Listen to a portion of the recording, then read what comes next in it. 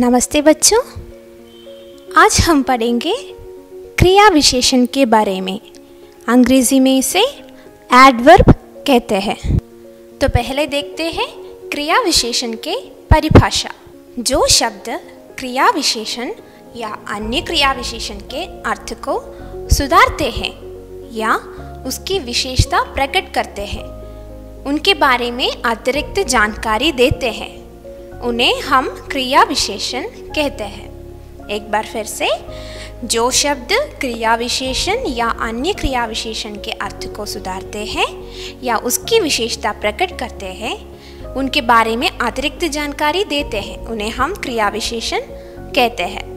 जैसे, विशेषण किसी संख्या या सरनाम के विशेषता बताते हैं। वैसे ही क्रिया विशेषण शब्द क्रिया विशेषण के अर्थ या विशेषता बताते हैं। जैसे कि, लता अच्छा गाती है। इसमें जो अच्छा शब्द है, वो है क्रिया विशेषण। वह ऊपर गया है। ऊपर। दिवाली कल मनाई जाएगी। कल। ये सब क्रिया विशेषण है। यहाँ क्रिया विशेषण के चार प्रकार है। पहला है रीतिवाचक क्रिया विशेषण। दूसरा कालवाचक क्रिया विशेषण तीसरा, स्थानवाचक क्रिया विशेषण और चौथा, परिमाणवाचक क्रिया विशेषण तो पहले देखेंगे रीतिवाचक क्रिया विशेषण इसमें कार्य के तरीके के बारे में बताया जाता है। मतलब किस तरह से किया जाता है। उदाहरण देखें, वे ध्यानपूर्वक सुन रहे थे। इसमें ध्यानपूर्वक जो शब्द है, वो रीतिवाचक क्रिया विशेषण है। इनमें कुछ और शब्दों का भी प्रयोग किया जाता है वाक्यों में, जैसे धीरे धीरे तेज, जैसे, अचानक, वैसे आदि शब्दों। रीतिवाचक क्रिया विशेषण नौ प्रकार के होते हैं। पहला है विधिवाचक विधिवाचक वाक्य में इन शब्दों का इस्तेमाल करते हैं, जैसे कि धीरे धीरे, हाथों हाथ, सुखपूर्वक और शीघ्र। दूसरा है निश्चयवाचक क्रिया विशेषण। इसमें हम वाक्यों में इन शब्दों का इस्तेमाल करते हैं। ज़रूर, निसंदेह। तीसरा है अनिश्चयवाचक क्रिया विशेषण। इसमें हम इन शब्दों का प्रयोग करते हैं, जैसे कि अक्सर, कदाचित, शायद और संभवतः। और चौदह है, हेतुवाचक। इसमें हम इन शब्दों का प्रयोग करते हैं।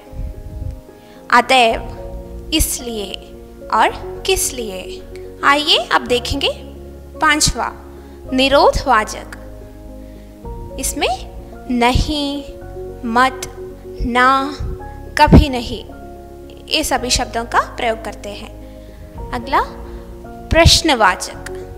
इसमें कैसे, क्यों और क्या, ये सभी प्रयोग करते हैं। और अगला है स्वीकृति वाचक इसमें हाँ जी, सच, बिल्कुल, ठीक, ये सभी शब्द इस्तेमाल करते हैं।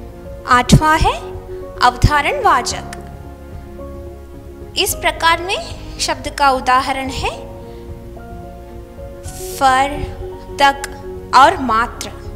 और नौवा है आकस्मिकता वाचक। अचानक, एकाएक, अकस्मात, सहसा। ये इसके उदाहरण है। क्रिया विशेषण के दूसरा प्रकार देखते हैं। कालवाचक क्रिया विशेषण जो शब्द कार्य के के समय होने का बोध करेंगे, उन्हें कालवाचक क्रिया विशेषण कहते हैं। इसके उदाहरण है माता जी अभी अभी आई है। मैं कल तुम्हारे घर गया था। कालवाचक क्रिया विशेषण तीन प्रकार के होते हैं।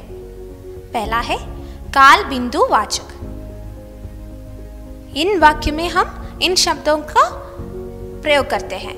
जैसे आज, कल, परसों, अब तक। दूसरा है अवधिवाचक।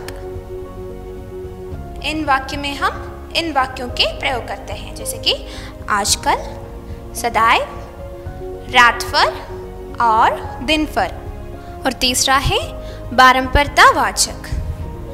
इन वाक्यों में हम अधिकतर इन शब्दों का अधिकतर प्रयोग करते हैं, जैसे कि हर दिन, रोज, प्रतिदिन और प्रतिवर्ष। क्रिया विशेषण के तीसरा प्रकार देखते हैं, वो है स्थानवाचक क्रिया विशेषण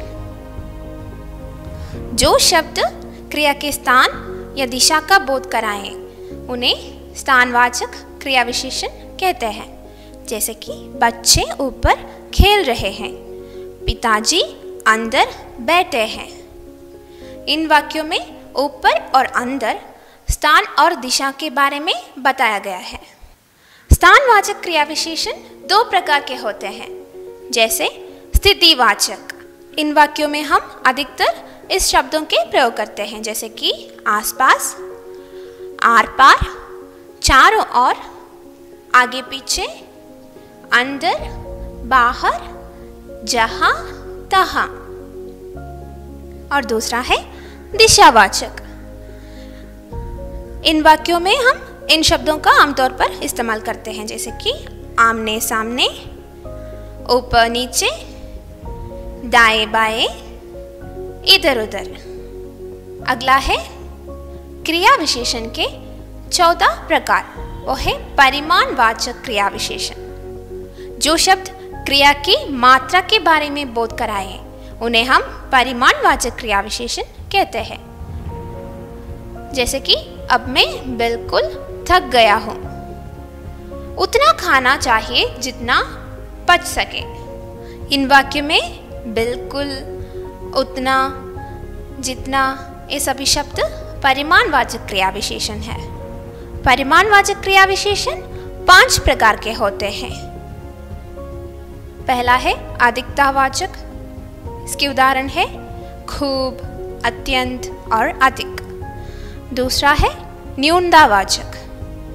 न्यूनतावाचक के उदाहरण है कम और थोड़ा। तीसरा जो प्रकार है वो है पर्याप्त वाचक और इसके उदाहरण है पर्याप्त और काफ़ी। और चौदह है तुलनावाचक। और तुलनावाचक के उदाहरण है कितना और जितना। पांचवा प्रकार है श्रेणीवाचक। श्रेणीवाचक के उदाहरण है बारी बारी से, कम से और थोड़ा थोड़ा ठीक है बच्चों, आशा करती हूँ आप सभी को क्रिया विशेषण के बारे में पता चला होगा। तो अगले वीडियो में फिर मुलाकात होंगे। तब तक के लिए धन्यवाद।